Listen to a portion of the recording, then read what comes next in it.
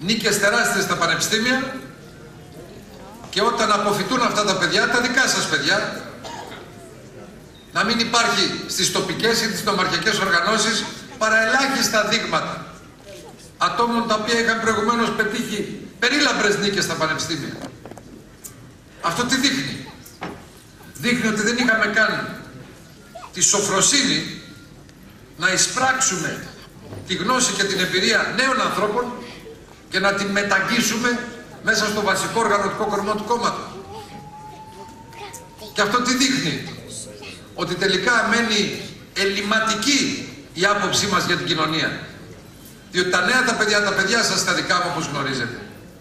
Σήμερα, για παράδειγμα, με το που μπαίνουν μέσα στο μηχάνημα του διαδικτύου, ταξιδεύουν σε άλλους κόσμους, γυρεύουν επαφές με ξένες χώρες, συνομιλούν μεταξύ τους, ψηφίζουν μεταξύ τους, συναποφασίζουν μεταξύ τους, αλλάζουν απόψεις μεταξύ τους, ψάχνουν επιστημονικά στοιχεία αν είναι επιστήμονες μεταξύ τους και επομένως έχουν άλλες παραστάσεις στο μυαλό τους από ό,τι έχω και εγώ και εσείς και πολλοί άλλοι. Και είμαστε υποχρεωμένοι αυτά τα νέα τα παιδιά να τα φέρουμε κοντά μας για να πετύχουμε αν θέλετε ένα άριστο μείγμα κοινωνικών εκπροσωπήσεων στο ζήτημα που λέγεται οργάνωση του κόμματος. Για αυτόν τον λόγο πρέπει και η ΔΑΠ, πρέπει και η ΟΝΕΔ να γνωρίζει ότι στη νέα οργάνωση θα εκπροσωπηθούν και θα έχουμε τη δυνατότητα να εισπράττουν τη δικιά τους γνώση.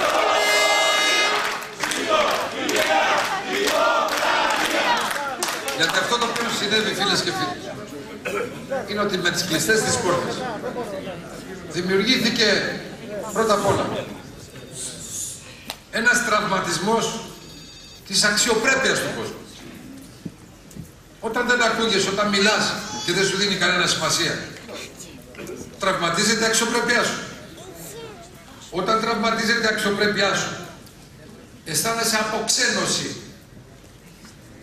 Όταν αισθανθείς αποξένωση για καιρό, η οργάνωση υφίσταται τι, απαξίωση. Και όταν απαξιωθεί η οργάνωση, επόμενο είναι οι οργανωμένοι να χάνουν την αυτοπεποίθησή τους.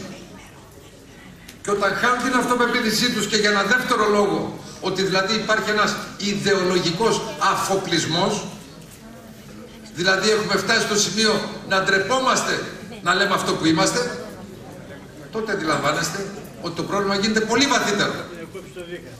Και το τραύμα πολύ πιο δύσκολο να επουλωθεί.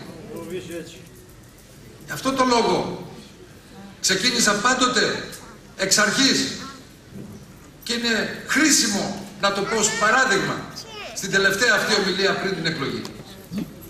Ξεκίνησα εξ αρχής λέγοντας ότι δεν είναι δυνατόν αυτή τη στιγμή να μην πούμε στον κόσμο πρώτον ότι το Πασόκ δεν κέρδισε. Δεν κερδίζεις όταν με τις ψήφους που πήρες τώρα μας άρρωσες και αυτές οι ψήφοι είναι ακριβώς οι ίδιες με τις οποίες είχες σαρωθεί το 2004. Δεν άλλαξε τίποτα. Οι ίδιοι το ψήφισαν το 4 και χάσαν, οι ίδιοι το ψήφισαν τώρα 9.800 παραπάνω. 9.800 παραπάνω ένα χωριό. Και μας άρρωσαν. Ποιος έχασε; Αυτοί δεν κέρδισαν, εμείς χάσαμε. Για ποιο λόγο; Πρώτον, χάσαμε ακριβώς διότι αυτούς τους ανθρώπους τους στερήσαμε την υπερηφάνεια να αισθάνονται νεοδημοκράτες και τους τη στερήσαμε επίσης γιατί τους κάναμε να πιστέψουν ότι ούτε οι ιδέες μας πια δεν ισχύουν όπως κάποτε ίσχυαν. Δεν χάσαμε για τις ιδέες μας. Χάσαμε γιατί εμείς φταίγαμε. Και αυτό είναι το πρώτο που πρέπει να πούμε σε αυτούς οι οποίοι αισθάνθηκαν ότι πρέπει να πάνε σπίτι τους.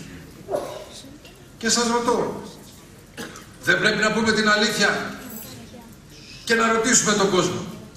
Μας στείλατε ένα μήνυμα σε ευρωεκλογές και μας είπατε κάνουμε τεράστια αποχή. Και έγινε αποχή. Δεν υπήρχε αντίδραση.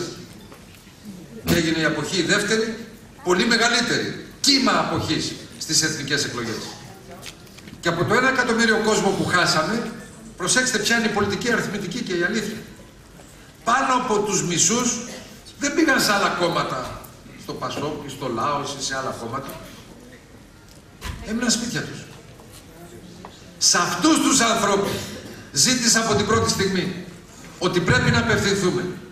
Αυτούς τους ανθρώπους θα φέρουμε πίσω. Αυτούς τους ανθρώπους ζητώ αύριο να πάνε να ψηφίσουν. Αυτούς τους ανθρώπους πρέπει να αφυπνίσουμε. Και σε αυτούς τους ανθρώπους πρέπει να δηλώσουμε. Ό,τι ήταν αυτοί. Νεοδημοκράτες ήταν. Σε αυτούς πρέπει να τους πούμε. Ναι, εσάς θα κοιτάξουμε πρώτα.